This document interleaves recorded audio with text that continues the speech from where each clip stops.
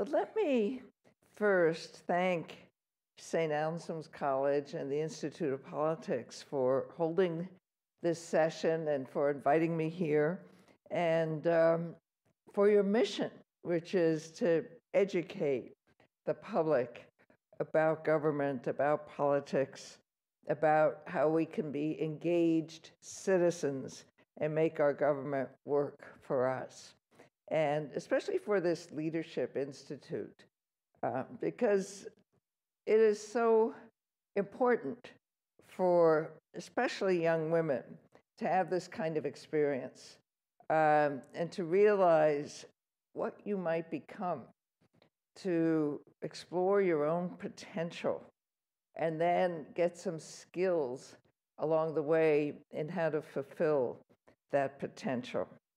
Uh, my husband, John Hennessey, has already been introduced, but I'd like to recognize him because he urged me to write this book, did some of the research and uh, some of the proofreading, which is the most onerous of tasks, as any of you who've written papers know. Um, sometimes I'm asked why I wrote this book. Um, as you might find out, and as some of the elected women here know uh, from New Hampshire, any woman who's been elected to public office is pretty soon thereafter asked to give a speech about women in politics.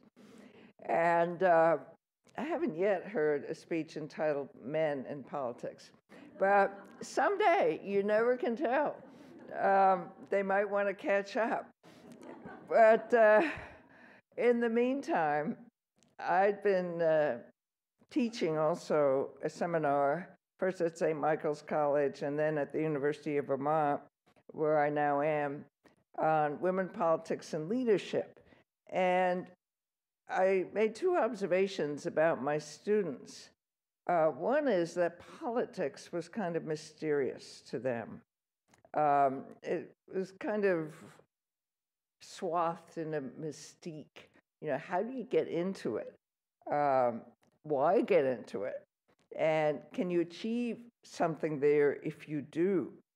The other thing I discovered was that um, there was very little knowledge about what had preceded their generation in terms of the women's movement. Um, going back to you know Abigail Adams. So interspersed in this book, I have some excerpts from women who really fomented the revolution that we are all now the beneficiaries of. But I also wanted to tell these stories not only in my own voice, but in the voices of other women to make it more contemporary. And I think we learn through stories. You know, statistics are interesting, studies are interesting, and they're all important, but you can't picture yourself in a new role unless you actually have a pretty specific idea of what it's like. And that is why I interviewed about 100 women uh, for this book, uh, some of them in New Hampshire. And uh, it is their stories that I tell. But let me just give you the theme of the book by reading you an excerpt of the introduction. It is a time for it is time for a call to action for new political leadership to emerge from the women of America. The stories of the women in this book and thousands of others like them who hold elective and appointive offices all over America are making a difference. Others work for change in their communities as volunteers, as activists. The problem is that they are too few. We need their voices as grandmothers and mothers, wives and widows, daughters and sisters to be heard in the political debate about the future of our country. The debate may be raucous, the process complex, and the rewards not assured but we cannot stay out of it. Each woman's experience changes the nature and content of the conversation. Politics, as Hillary Clinton said, is not for the faint of heart. She said that to me last June. But politics is where the decisions are made that determine whether our children will go to war, whether our parents will live in security, and whether the Earth itself will continue as we know it. We have been bystanders to history for too long. We have no more excuses. We are educated, we care, and we are ready to enter the arena. Now, times have changed since I was first elected governor of Vermont in 1984. When I walked into the executive office the morning after the election, I scanned the row of somber male governors' portraits with names like Ebenezer and Erastus. They stared down at me as if to say, What are you doing here? Now, when nine year old Melissa Campbell visited the Vermont State House in 2006 and came upon my portrait, she exclaimed, Finally, a woman. It's about time. Well, that's where we are today, where we do feel it is about time for women in leadership everywhere in politics, in higher education, in corporate world. And we do see some extraordinary changes. Uh, Nancy Pelosi as Speaker of the House. Um, the first time I saw her sitting beside, behind President Bush at a State of the Union speech, and you know, sometimes during a State of the Union speech, your attention might wander, and you look at the people sitting behind the president, and her presence was as if somebody had torn the sign off the treehouse fort that said, Girls keep out.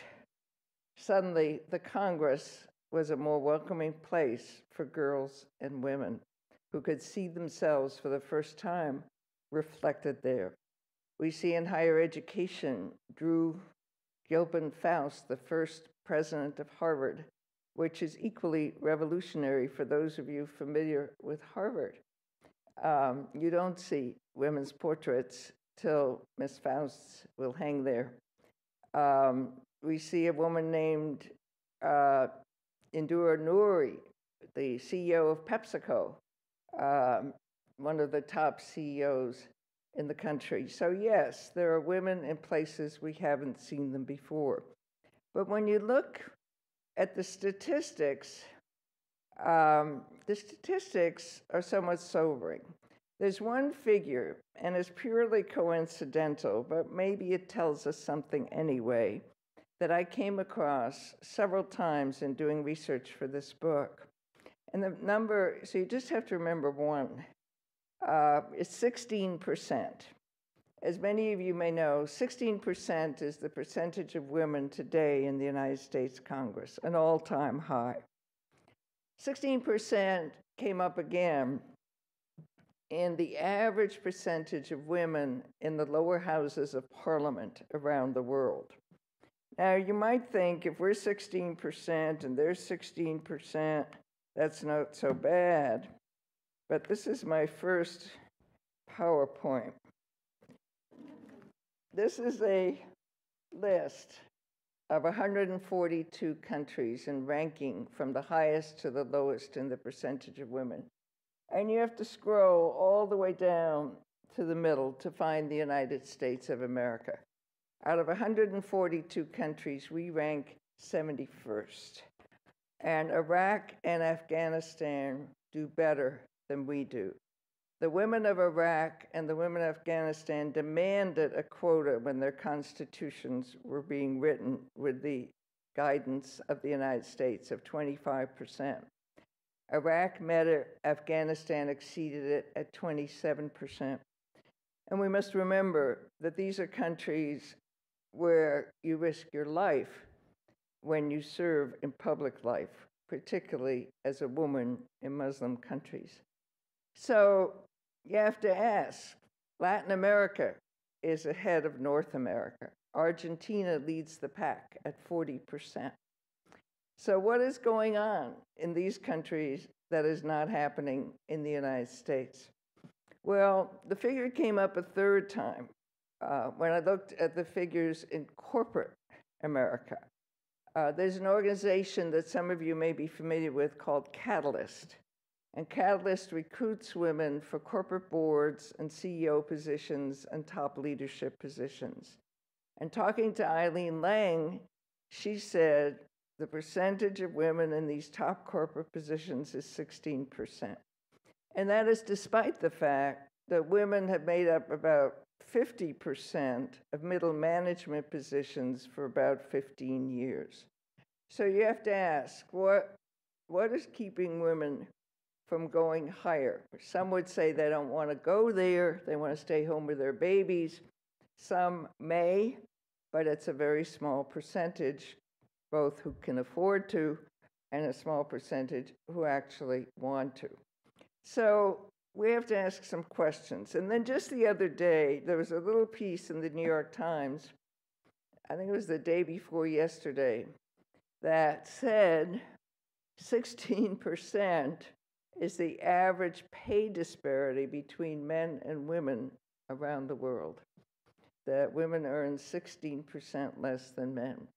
So I know it's a strange convergence of figures, but there may be some relationship even between the pay disparity and the participation of women in political and corporate and educational life.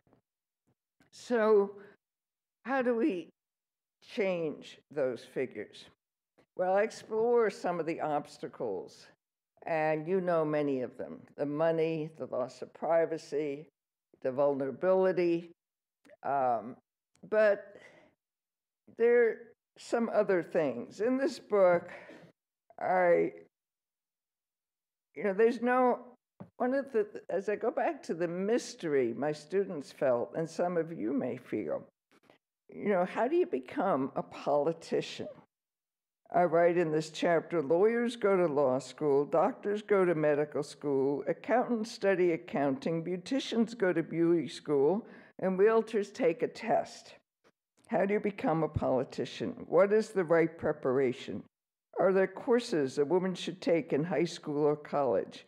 Is it necessary to get a law degree or a master's degree in public administration? The problem is there is no roadmap or set of global positioning system coordinates to tell a person what route to take to arrive at destination public office. One reason women and some men do not consider running for office is that the process is more opaque than transparent, more mysterious than obvious. Any American citizen theoretically can run for office. The only legal requirement is age, 18 or 35, if you want to run for president. The perception is different. It's a lot of who you know. If women don't have these connections, how do they get them? asked one University of Vermont student. I think the perception is still, even though there's a no smoking sign on the door, the perception is still that decisions are made in a smoke filled room by a small group who only talk to one another. And that for an outsider to knock on this door is very, very difficult. Well, the experiences of the women in this book and my own experiences have been somewhat different. Otherwise, I wouldn't be here. Um, I know when you see someone like myself now, and some of the other speakers and teachers you're, you're having in, in these days of uh, orientation and training, you assume we've always been this way. Um, we didn't start out. I, just to reassure you, um, was a painfully shy person. Uh, in my high school class, when I was elected governor, everybody was surprised, not only me. Um, I was not the most likely person uh, to do this. I learned to speak, I learned confidence by practice by caring, by letting the issues pull me into the fray. Uh, what does it take? And I try to analyze this in my book to step over that line between being a private person where you feel relatively safe. I say relatively because there is no ultimate safety even in holding back. But you know there's a difference between being a private person and a public person, where your name is in the paper, you're vulnerable, people can tell you anything, ask you anything, call you anything.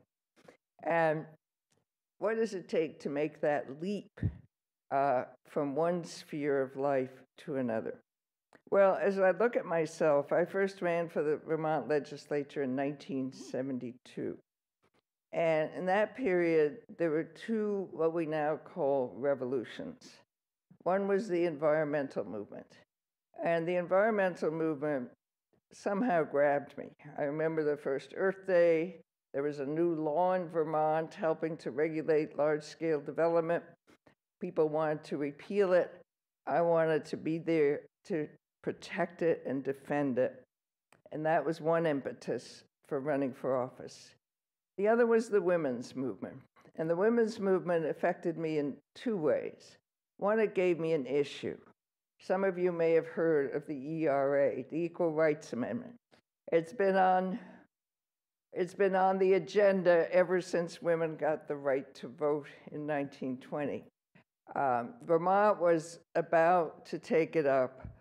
I had lobbied for Vermont to ratify the ERA. And I thought instead of knocking on the door from the outside, why not sit at the table and vote on the inside? Now, the women's movement also affected me in a personal way, my sense of timing. Uh, I had four young children. Um, I had thought, I'm not going to step back out into the world until much later when my kids are grown up. I always knew I would step out, back out, uh, but I didn't know when and how. So the women's movement gave women of my generation permission. You can do it now. It also gave me a group of women, friends, and supporters who said, Go for it. You can do this.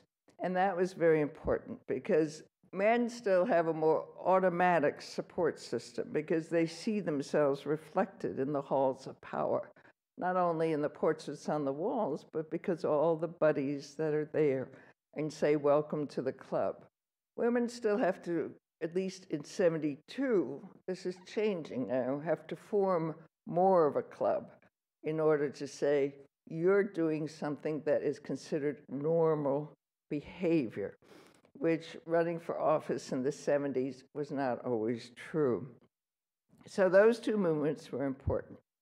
But then I think back as I try to peel off another layer of the onion that my childhood actually had something to do with it. I didn't realize this at the time. It's only upon later reflection. I came to the United States as you did as a child, didn't speak English. We left Europe because of fear of the Holocaust at the beginning of World War II. And my mother told us what so many immigrant parents tell their children today. She told us anything is possible in America, and that anything is possible dream gave me a sense of optimism that this was the country where you could become who you wanted to be. If I peel off one more layer, the Holocaust affected me in another way, not directly, fortunately, but indirectly. I did lose on my mother's side and on my father's side an uncle, aunts, cousins, and it left me with it's hard to know quite the right word. Maybe not responsibility, maybe not quite survivor's guilt, but something akin to that. And I thought to myself, I am so fortunate. I live in a time and place where I can speak, where I can act, and not be afraid. I can do what the victims of the Holocaust could not do. And I should use that special position of opportunity to speak out when I have the courage, when I have the opportunity against injustice. So it's not something I thought of every day, but it is something that influenced me on some deeper level and um, was an important part of my stepping over, stepping over that line. Now, what can we do to help other, especially young women, step over that line? But let me, before I explore that, go back to the question in a broader sense of what does it take to be engaged, not just in running for office, but to speak out in your community, to take a leadership role in whatever form or level you're comfortable with. Well, I'll give you my other PowerPoint, and it consists of three boxes. And if you can envision those boxes with me, the first box contains anger. I think you have to have a level of anger in order to become active. And when I say a level of anger, you have to be dissatisfied with what's going on, whether it's the traffic on your street, uh, whether it's your kids having to cross the railroad track, as was my case on their way to school, whether it's the war in Iraq, whether it's our lack of access to health care, whatever the issue grabs you. A lot of women start from local issues, actually. Uh, their kids' education, issues that are very close to home. So when I say a level of anger, I mean a level. If you're too angry, you can go in either of two directions. If you're too angry, you can say, nothing's going to change. I'm going to watch the video. I'm not going to get engaged and be a participant. Wake me up in 20 years and let me know if anything's happened. We used to call that apathy. Um, if you're too angry, you could go in another, the opposite direction. You could say, burn the place down. Uh, we got to start from scratch. Nothing works. And of course, we've seen that throughout history, and we see it in other countries today. Um, that if you have the right level of anger, you move to the next box. And the next box contains imagination. You have to be able to imagine the world somewhat differently than it is today. You don't have to have all the answers to every problem. You don't have to know subsection A and subsection B of Roman numeral, numeral one. You just have to have a vision. And in discussing this the other day, I talked to a friend of mine, and she added another level of imagination that somebody named Professor Barber has written about. You also have enough imagina- have to have enough imagination to imagine yourself in somebody else's shoes, so that your concern for them is as important to you as your concern about yourself. Now, if you have that capacity for imagination, you move to the next box. Take that anger, take your vision of imagination, and there you find optimism. You have to be optimistic enough to believe that if you take the risks, if you make yourself vulnerable, if you fight the battles, that something is going to happen. And that is why optimism is such a key ingredient in political awakening and taking the risks of leadership in whatever venue uh, you may find out that you feel comfortable with. But you shouldn't stay where you are comfortable, as I say those words. Uh, one of the tests of leadership is to move beyond your comfort level, but you may want to start out there you may want to start out there to test the waters. Well, I think one of the interesting things that has happened in this election season is that these three boxes have been opened by a lot of people. And that is why, in part, we have seen the huge turnout in the primary campaign. I think young people, uh, new voters, propelled forcefully by Barack Obama, but I believe also propelled by Hillary Clinton, have begun to experience that their anger, their imagination, and their optimism are alive again, that there is, to coin a phrase, hope, that there can be change. And that is vital to the life of a democracy, regardless of which political party uh, you belong to or which candidate you support. Because it's the people who do not participate who endanger a democracy the most.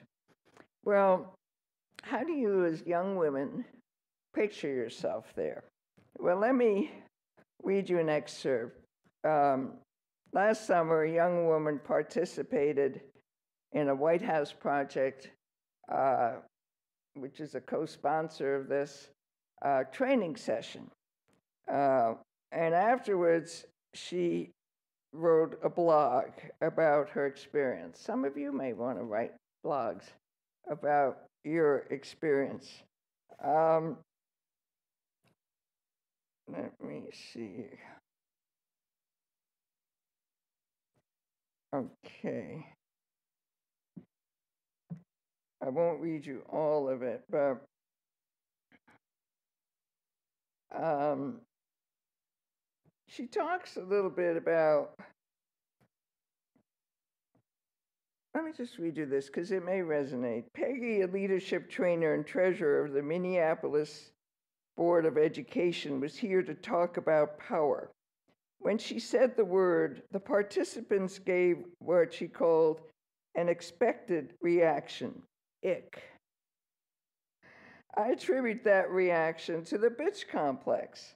While the assertive man is a good leader, the assertive woman is a bitch. We don't want to be seen as aggressive, bossy, or otherwise unfeminine. We hold back. We speak our mind, but not too loudly. When editing articles for my high school newspaper, I often found myself tiptoeing around suggestions. I quoted criticism with a sugar tone and prefaced my critique with, this could be really stupid, but, but I knew I wasn't stupid. And it was frustrating that I didn't trust myself. Throughout the weekend, other women shared similar stories. They too cringed when other women played down their strength and cringed even more when they did it themselves. Together, we worked through our fears of having authority, learning to embrace it. I think if there's one thing you can get out of this weekend, that is important is to respect your own opinions, fight for them, argue for them, and risk being called a witch. Um, uh, it's unfortunate that this double standard exists in our society, but it does. And also, do not be afraid of the word power. Now, power can be defined in many, many ways.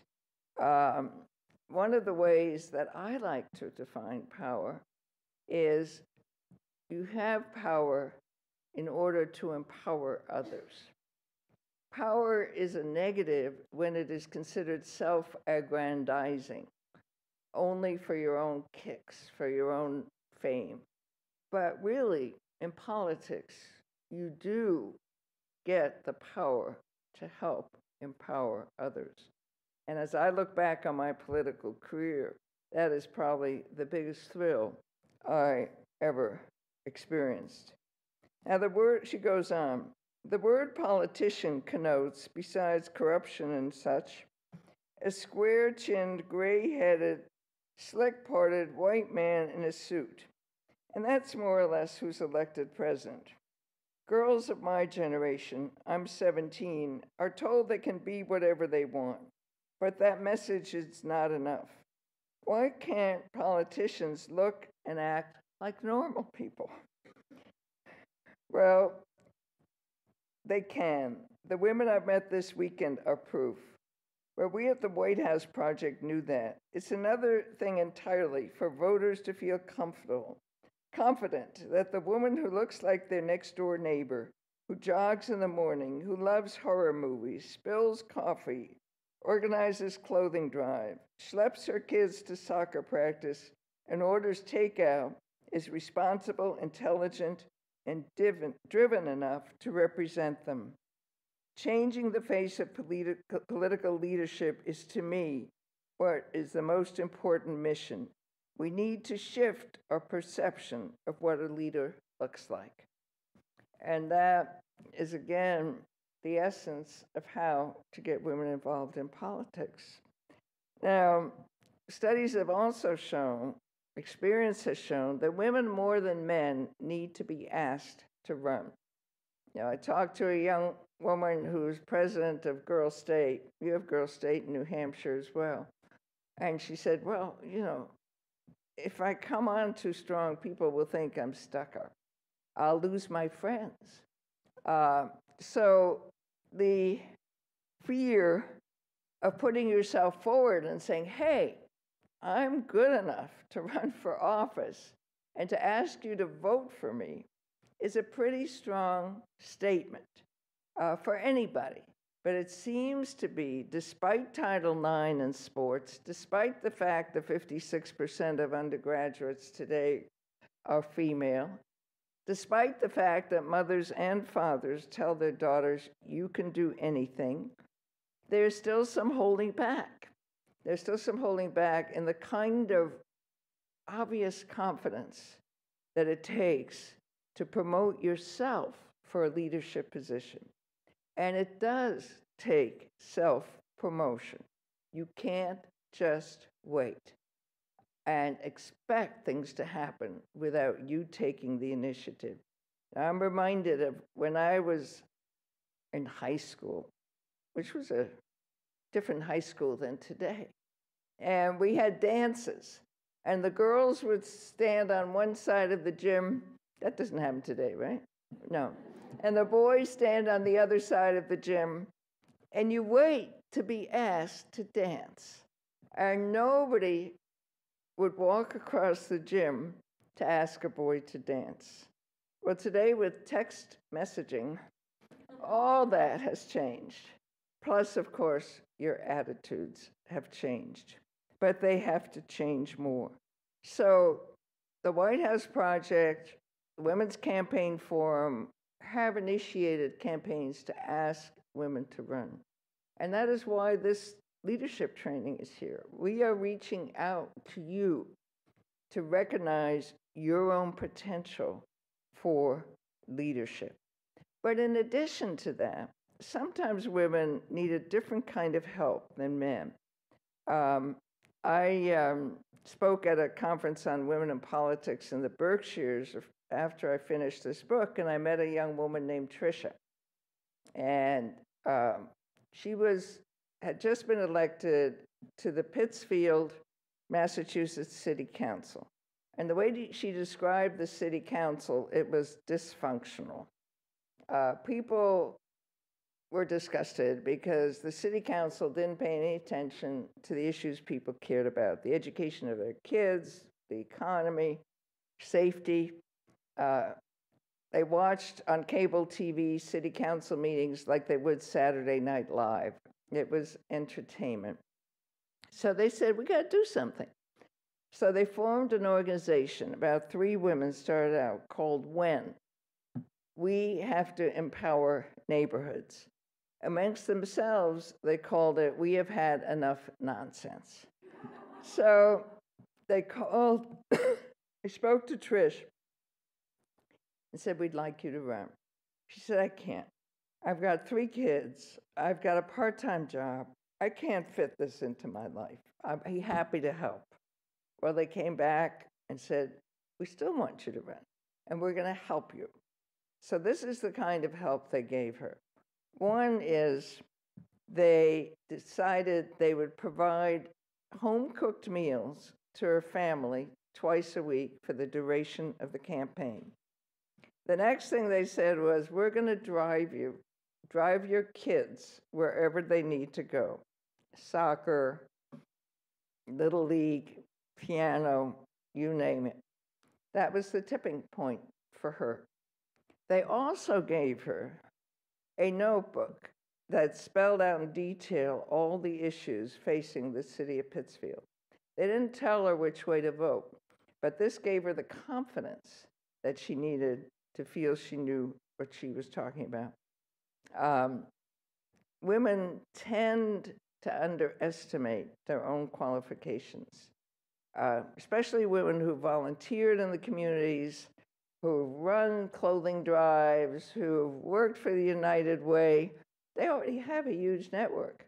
And as Kathleen Sebelius, the governor of Kansas, told me, any woman who's organized a birthday party for a five year old can organize a campaign. and there's some wisdom there.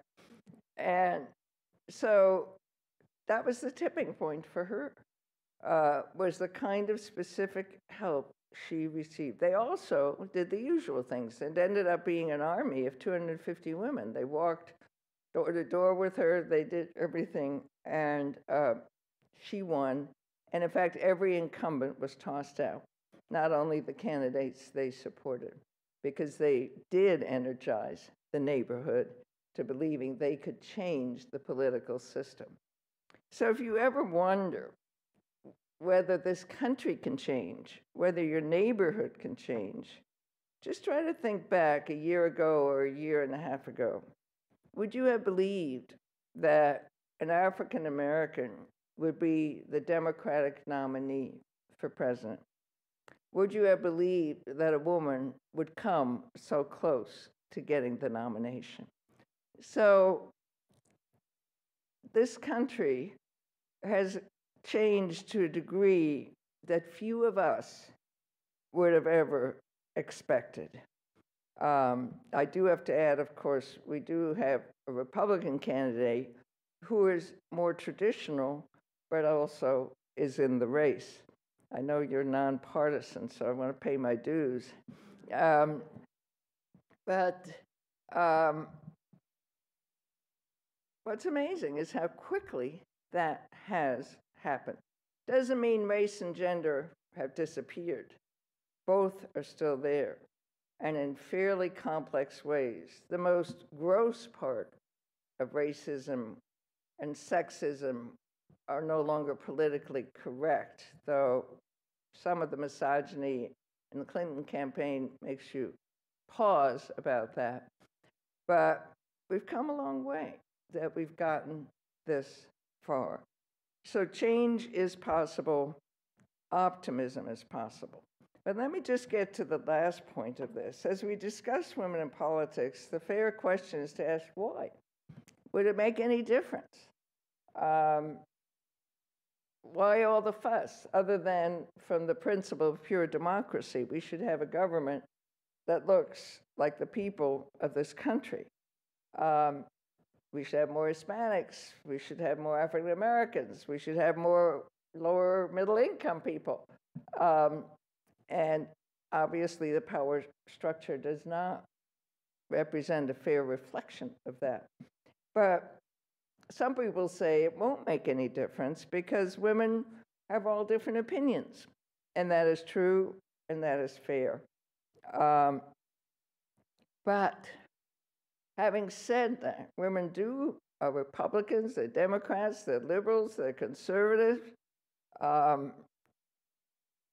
but studies have shown that women tend to vote in slightly different ways. And it only takes that tendency, it doesn't take a 100% vote in order to change the outcome. They also often bring in new ideas and experiences into the conversation that come from their personal lives. Well, let me give you the voting pattern. Imagine the United States Senate today, composed of 40 women and 60 men. Imagine a bill comes before the Senate that would require paid family leave so that you have a baby, if you have an elderly parent, you can take three months Some countries it's six months, in some countries it's a year, uh, without losing your job, without losing your paycheck. Let's say 30 of the 40 women vote for that bill. Some of them have reservations. Let's say 30 of the 60 men vote for that bill. Well, you can do the math. You got 60 votes, enough to pass it, enough to override a veto. So women can provide the tipping point on issues that are close to their experience. And I feel confidently that if we had more women in the Congress today, women could have overridden, women and men could have overridden the president's veto on expanding children's health care. So it isn't as if women are only interested in these issues, but these are the gut issues education, healthcare, the environment, women's issues. There were no laws on the books about family violence. Uh, violence was considered a family private issue, not a question of law and police enforcement. Till women brought these issues up in state legislatures and in the Congress. Why? Because still there's a difference. Any woman knows that when you walk into the parking lot at night looking for your car, that your fear is visceral. And while men may sympathize with that, they cannot feel it with that same intensity that comes from personal experience. And intensity in politics does matter. I got a small vignette of that when I was lieutenant governor and I was presiding over the Senate. And there was a bill that came up regarding the six inch trout. Now, the members of the Fish and Wildlife Committee were passionate about passing this bill. And I can't to this day remember whether it meant you had to throw the six inch trout back or whether you could keep it. But they fought tooth and nail for the six inch trout. They refused to suspend the rules. They held up the whole session. It was near the end of the session. And lo and behold, they got their bill. Well, a group of women were observing this, and the budget for the Commission on Women had been cut. An annual ritual in Vermont. I don't know if it happens in New Hampshire, but the women said, We're going to organize. We're going to refuse to suspend the rules till we get our budget restored. When they did that, the men were aghast. How could they play such dirty politics? I mean, to make a long story short, they got their budget restored. So those who fight most intensely, most persistently for the issues they care about have a better chance of winning. They don't always win, but they often win. So that is why politics is competitive, we know, about getting elected But politics is also competitive about what gets on the agenda and where it gets on the agenda. And I know people like the former Speaker of the New Hampshire legislature knows that better than anybody. And global warming, where is it on the agenda today? It's an asterisk. Last week, the United States Senate got only 48 votes for a bill may not have been perfect, but the first bill to actually address global warming. Why aren't there more?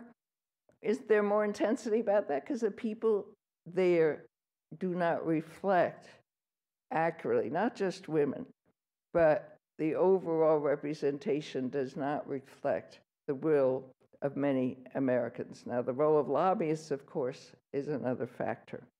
But let me read you one excerpt. Well, let me just point to the Supreme Court. You know, in the Supreme Court, we have one woman today, Ruth Bader Ginsburg. Uh, we had one woman, and for a short time, two women, Sandra Day O'Connor. When Sandra Day O'Connor retired, she got many accolades. And one of the observations that was made was she saw the law in practical terms how it applied to people's lives, not only in theory. Well, there was a recent court decision that speaks to one of the difficult issues of our time. It's called Ledbetter versus Goodyear Tire Company. Lilly Ledbetter was a supervisor in the Goodyear Tire Company. She worked there for 20 years. After 20 years, somebody wrote her a letter and informed her that she had made much less money than the men who had the same job. So she sued. She won. Goodyear appealed to the United States Supreme Court. The court ruled five to four against her. And the reason they did was that she did not file the suit within 180 days of experiencing discrimination. This is part of what Ruth Bader Ginsburg wrote.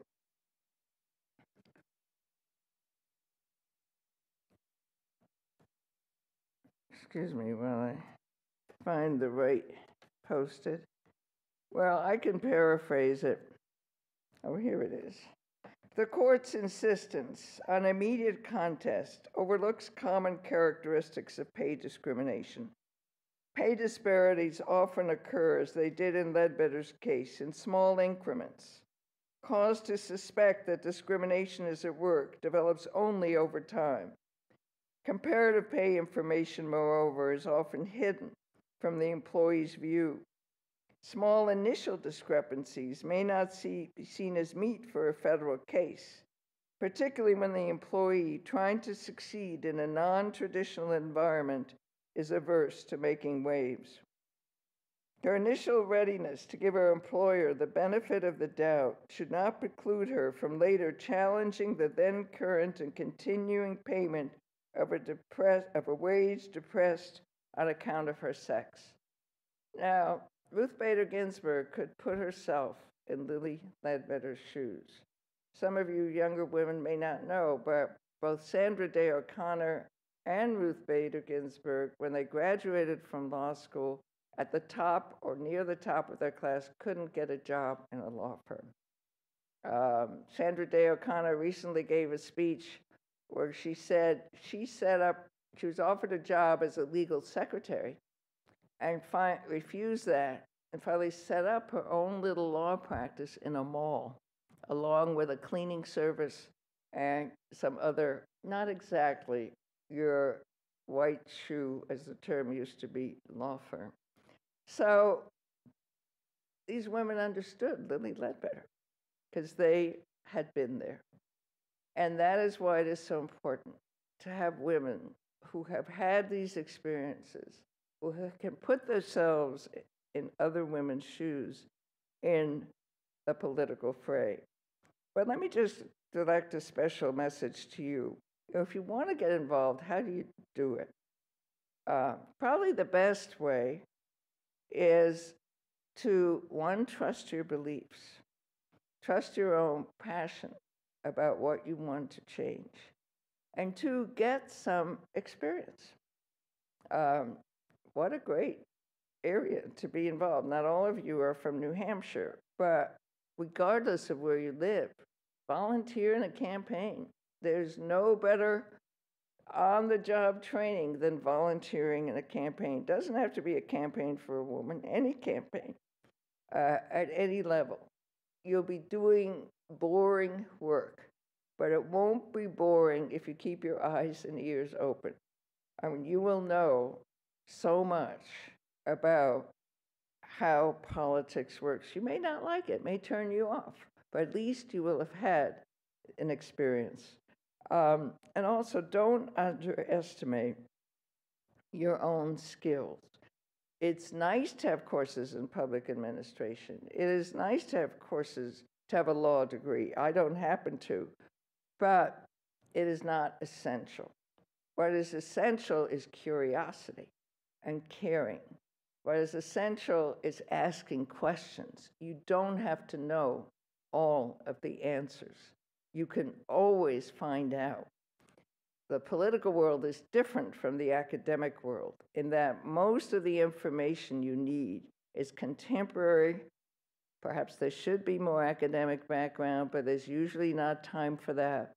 And comes from people, is verbal conversation, verbal inquiries. talking to people, listening to their problems, talking to experts, asking them questions. So it is something that common sense and curiosity can help guide you along the path. Now, not everybody wants to run for office, and not everybody should, but everybody can help everybody, eh, somebody else run for office.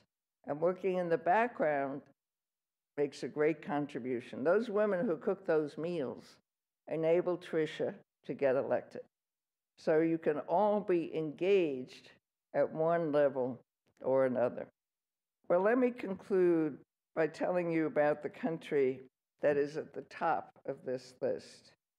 Some of you may know from previous reports, it is very counterintuitive. The Scandinavian countries have traditionally been at the top. Interestingly enough, the Scandinavian countries also have the best, most progressive family work policies. Um, well, the country that's at the top is Rwanda. They are at 48.8%. And I called a woman senator. I had a student from Rwanda who gave me the name of the senator. And I said, How did this happen? How did Rwanda, Africa, genocide? Uh, how did this happen? And she said, Well, after the genocide, where 800, more than 800,000 people were killed in 1998, and the country was pretty much destroyed. Um, she said, Well, after the genocide, women went to work in their communities. They built houses, they repaired hospitals, they united families. And when the Constitution was written, again, they demanded a quota of 30%. Obviously, they exceeded it. And I said, Well, tell me more. It still doesn't completely explain this. And she said, You know, we decided we had to do this for the survival of our children.